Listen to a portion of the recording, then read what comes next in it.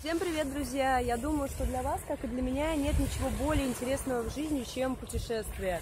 Но все знают, что это удовольствие не из дешевых. Но, как оказалось, совмещать работу и путешествие – это реально. На самом деле, я работаю и путешествую как педагог английского языка. И все, что мне для этого понадобилось, это пройти курсы на TEFL-TESOL получить сертификат, подтверждающий мою компетенцию как педагога. И мне предложили просто огромный выбор вакансий. Что я теперь делаю? Я выбираю страну, в которой хочу жить, и работаю оттуда дистанционно. На данный момент я на Бали.